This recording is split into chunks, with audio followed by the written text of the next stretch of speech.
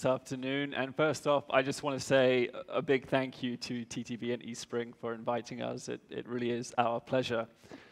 Now, I want to open with a number, or two numbers to be precise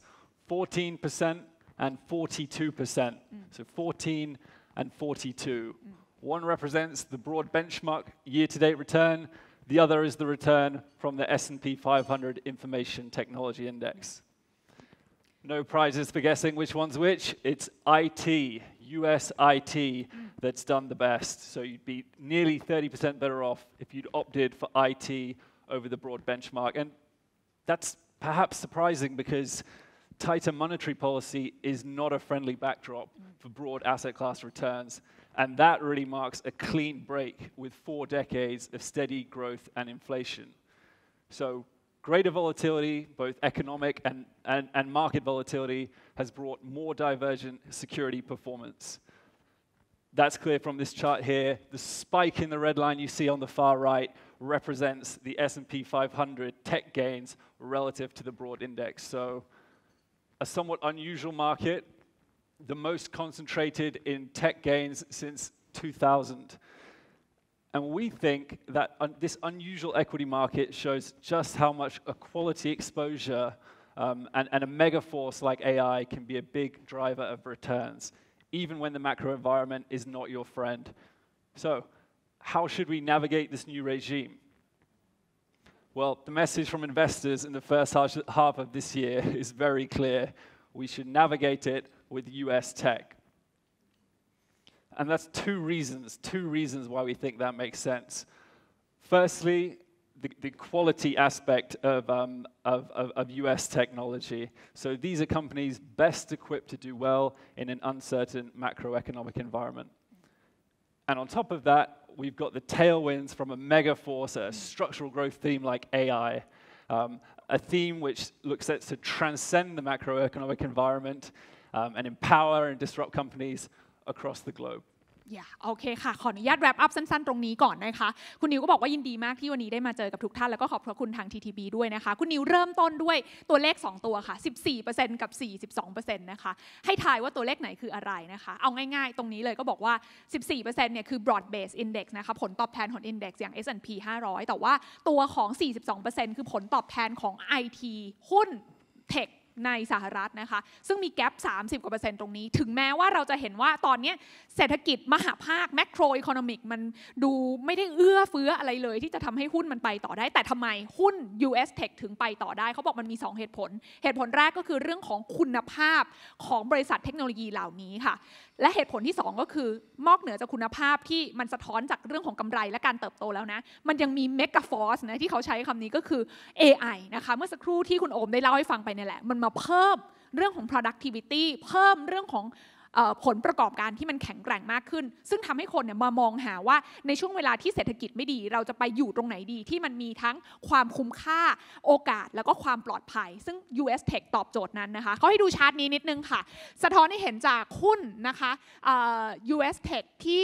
ไม่โทษขออภัย S&P นะคะที่ตอนนี้ทะลุไฮเดิมตอน Tech Bubble ปี 2000 ไปแล้วนะคะ ซึ่งก็จะได้เห็นว่าอันนี้แหละมันเป็น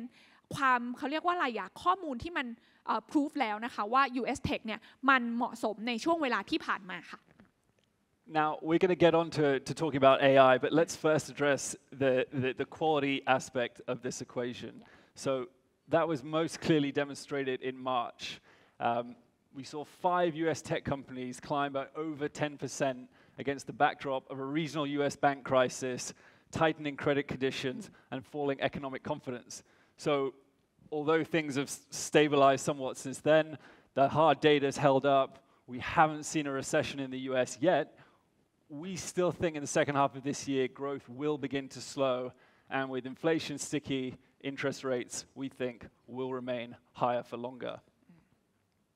And against that backdrop, it makes a lot of sense to be invested in quality companies, those with profitability and low leverage. So, and I think this chart makes it pretty clear US tech really fits the bill. Mm. Indeed, it's, it's far and away the largest exposure in our, in our flagship US Quality Index.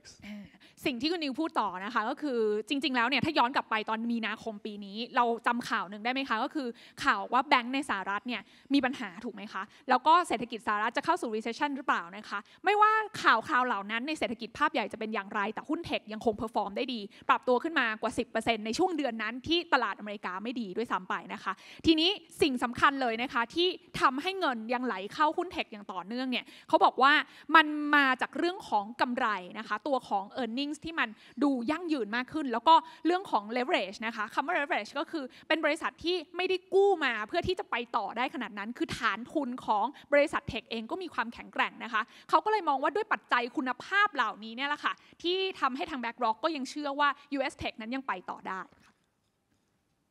And I think that really brings, in, brings into focus an essential point.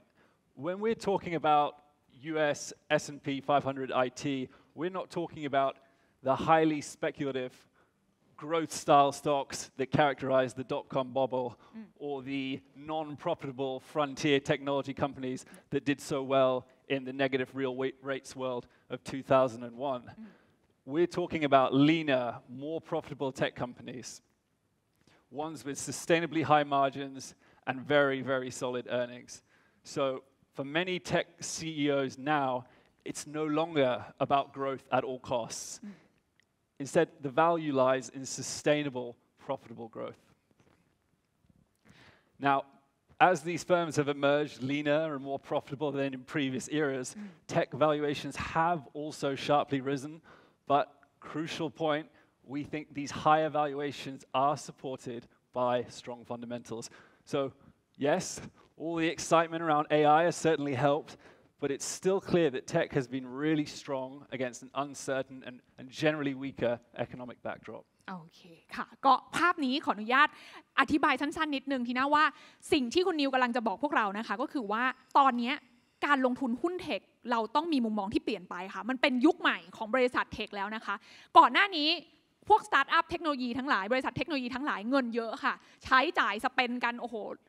เขาเรียกว่าอะไรอะแบบว่า unlimit ใช่ไหมคะแต่ว่ายุคนี้พวก CEO เหล่านี้เขาเปลี่ยนไปเขามีมุมมองที่เขาต้องมุ่งเน้นที่เรื่องของการเติบโตอย่างยั่งยืนมากขึ้นนะคะ ไม่ได้เอะอะ growth เท่าไหร่ at all cost เท่าไหร่ก็ได้ แต่ต้องเติบโตทำตัวเลขการเติบโตอย่างเดียวมันไม่ใช่แบบนั้นแล้ว เพราะฉะนั้น key message ของทางคุณนิวส์ก็คือบอกว่าณวันนี้เนี่ยนะคะบริษัทเทค ที่ยังอยู่ได้เนี่ยฟันดัมเมนทัลหรือพื้นฐานเขาอะมันแข็งแรงจริง ๆนะคะ ไม่ใช่แค่เรื่องของกำไรนะคะ แต่ว่าเรื่องของสถานะทางการเงินมันแข็งแกร่งนะคะ ซึ่งมันแตกต่างกันกับช่วงของปี 2000 แล้วก็แตกต่างกันกับช่วงของปี 2021 ที่ตอนนั้นเนี่ยเงิน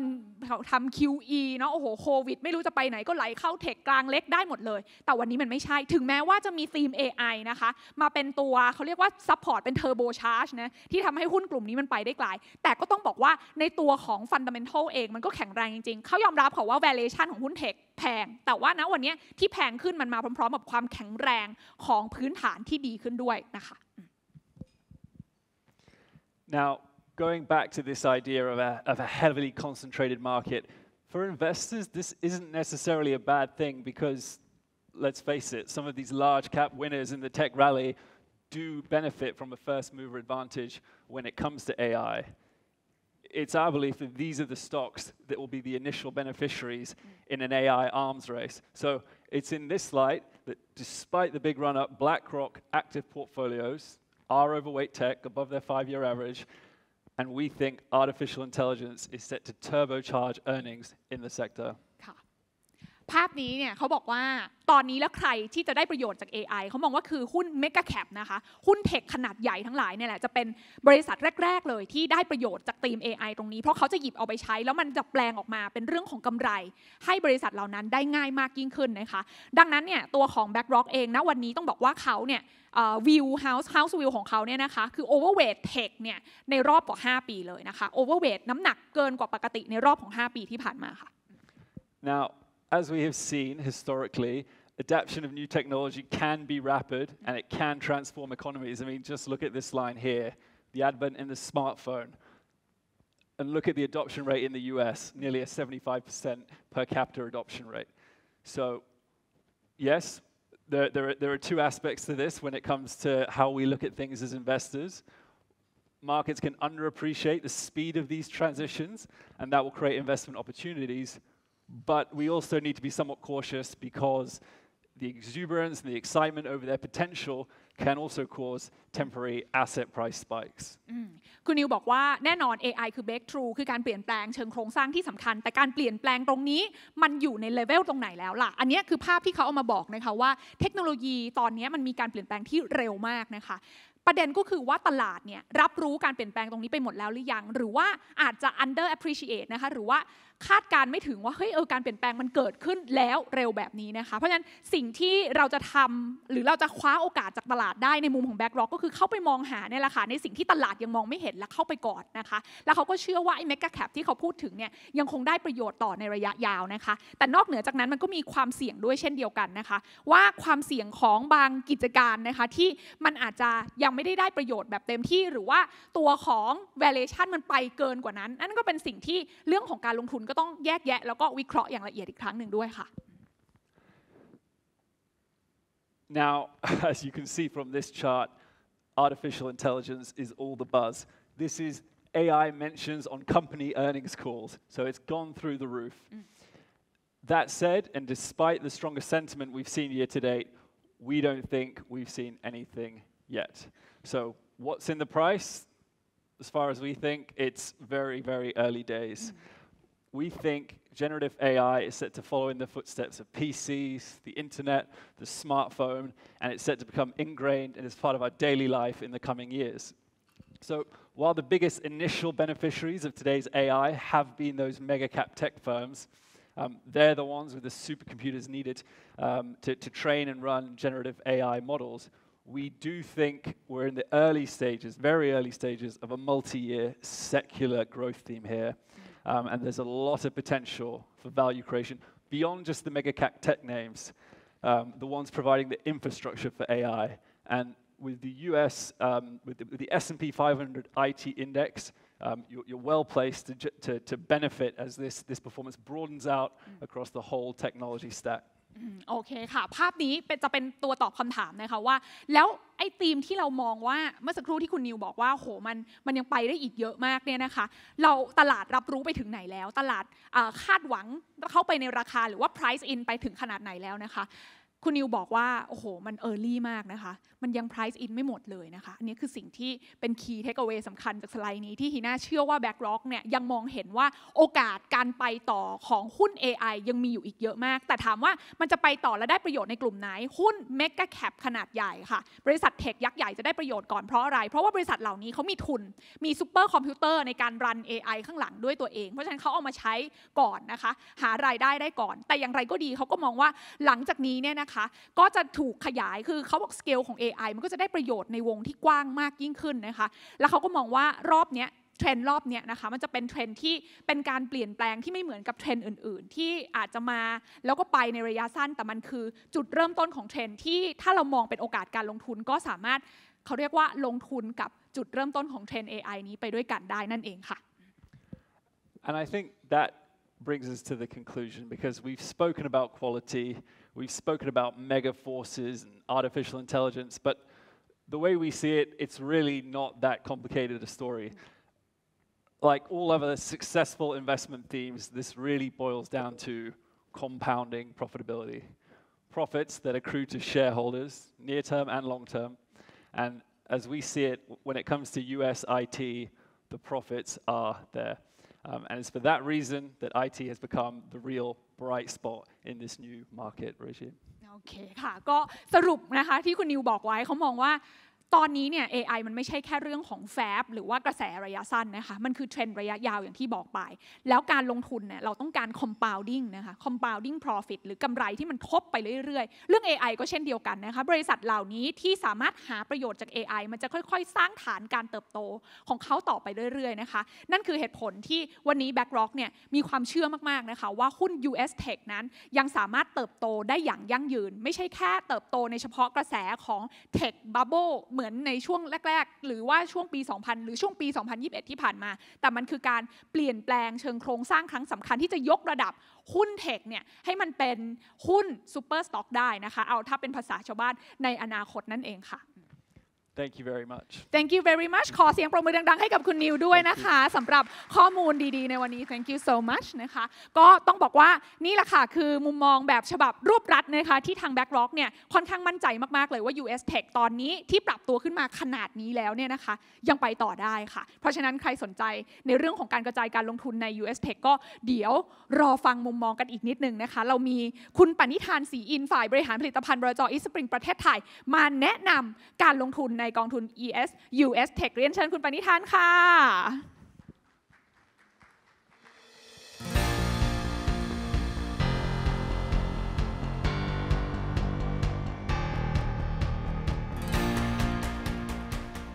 สวัสดีแขกผู้มีเกียรติทุกท่านนะครับปณิธานศรีอินจาก East Spring Thailand ครับ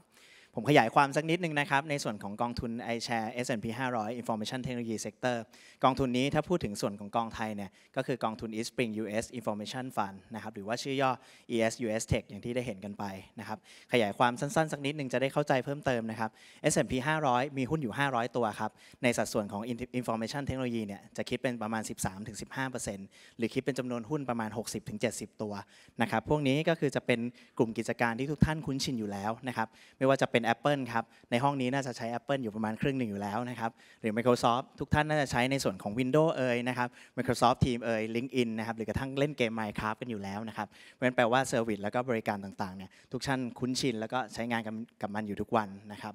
NVIDIA ครับเป็นหุ้นที่มีผลประกอบการค่อนข้างดีในช่วงไตรมาสแรกนะครับแล้วก็มีเรื่องของราคาหุ้นที่ฟื้นตัวอย่างน่าตื่นเต้นนะครับหรือตัวอื่นๆเนี่ยที่อยู่ในกลุ่ม US Tech ครับไม่ว่าจะเป็น Accenture บริษัทที่เป็น Business Consult ชื่อดังระดับโลก Adobe ครับก็เป็นไฟล์ PDF ที่ทุกท่านก็น่าจะใช้กันทุกวันอยู่แล้ว Salesforce ครับกลุ่มบริษัทที่ขายเกี่ยวกับ Software as a Service ก็จะมีความเป็นยักษ์ใหญ่ในด้านบริการ Intel ครับ AMD ก็จะเป็นชิปที่อยู่ในคอมพิวเตอร์เกือบทุกเครื่องบนโลกถ้าไม่นับในส่วนของ iPhone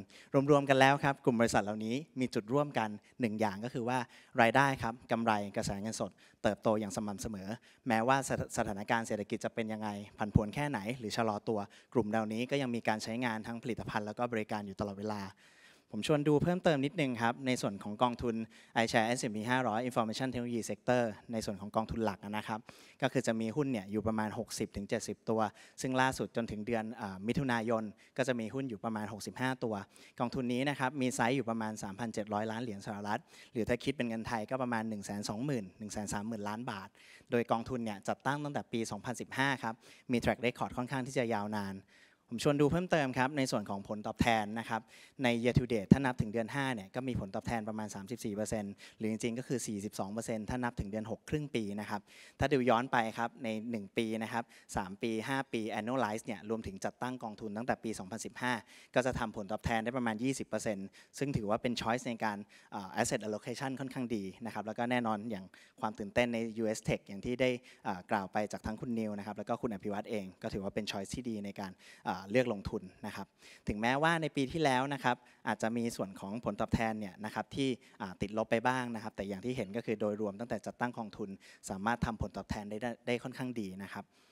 ผมชวนดูเพิ่มเติมอีกนิดนึงนะครับท็อป 10 แล้วก็รายชื่อหุ้นที่อาจจะแตะไปเมื่อสักครู่นะครับถ้าดูเพิ่มเติมก็คือว่ากลุ่มหุ้นเนี่ยนะครับอาจจะมีสัดส่วนเนี่ยที่ใหญ่เล็กค่อนข้างจะต่างกัน Apple Microsoft มีสัดส่วนลงทุนที่ค่อนข้างจะเยอะที่สุด ซึ่งถ้า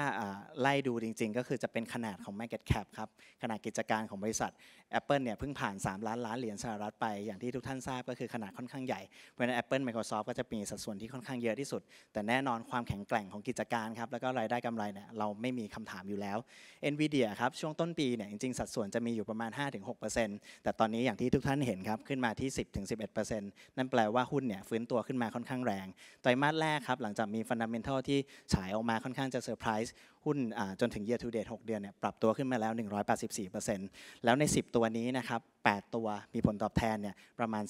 40-50%ขึ้นไปตั้งแต่ต้นปีเพราะฉะนั้นแปลว่าความแข็งแกร่งของหุ้นไอทีเทคโนโลยีเนี่ยค่อนข้างที่จะแข็งแรง ผมชวนดูเพิ่มอีกสักนิดครับ ในส่วนของท็อป10 10 ตัวเนี่ยรวมกันในต้นปีเนี่ยจะมีสัดส่วนประมาณ 66%แต่จนถึงตอนนี้ก็จะกระจุกขึ้นมาที่ 74%สิ่งที่เห็นเนี่ยหลายคนอาจจะคิดว่าเออเสียงเพิ่มขึ้นหรือเปล่าจำนวนที่กระจุกตัวเป็นยังไง แต่ทุกท่านน่าจะเคยได้ยินคำนี้ครับ winner take most นะครับหรือว่า winner take all กลุ่มกิจการที่มีขนาดใหญ่เนี่ยมักจะกินรวบนะครับเพราะฉะนั้นความใหญ่ของเขาเนี่ยก็ไม่น่ากังขาจากความแข็งแรง แล้วก็การจะอยู่ได้อย่างยั่งยืนต่อเนื่อง ชวนดูเพิ่มเติมอีกนิดครับใน sector ถึงแม้จะเป็น IT ทั้งหมดนะครับแต่ว่ากลุ่มที่โฟกัสอยู่บนสุดเนี่ยก็คือจะเป็นกลุ่มของเทคโนโลยีซอฟต์แวร์ครับ semiconductor แล้วก็ซอฟต์แวร์สามตัวบนสุดเนี่ยตัวละประมาณ 20เอ่อสเอ่อ sector เนี่ย20ถึง30%รวมๆกันแล้วประมาณ 75-76%เพราะฉะนั้นใน IT เซกเตอร์เองก็ตามแต่ว่ามีความโฟกัสอยู่ในฮาร์ดแวร์ semiconductor แล้วก็ซอฟต์แวร์ เพิ่มเติมสักนิดหนึ่งครับ ในส่วนของอ่า portfolio characteristic ถึงแม้ว่า PE จะค่อนข้างสูง แล้วก็สูงกว่า S&P 500 แต่อย่างที่คุณนีลได้พูดไปเมื่อสักครู่ครับ ผลการดำเนินงาน 42%เทียบกับ 14%มันก็บอกได้ว่าถึงแม้ว่าผลผลราคาความถูกแพงจะแพงสักนิดหนึ่งแต่ตัว E หรือการเติบโตเนี่ยจะค่อนข้างสูงเช่นกัน ในขณะที่ ratio อื่นๆเนี่ยก็ยังมีการเติบโตที่ดี ฝากไว้สักนิดครับสำหรับกองทุน eSpring Information Technology หรือว่า ESUS Tech เนี่ยก็จะเป็นทางเลือกหนึ่งนะครับที่จะทำให้ทุกท่านเนี่ยสามารถมีอินสตูเมนต์ในการลงทุนระยะยาวไว้ได้กับหุ้นเทคโนโลยี ขอบคุณมากครับ ขอบพระคุณมาก ๆ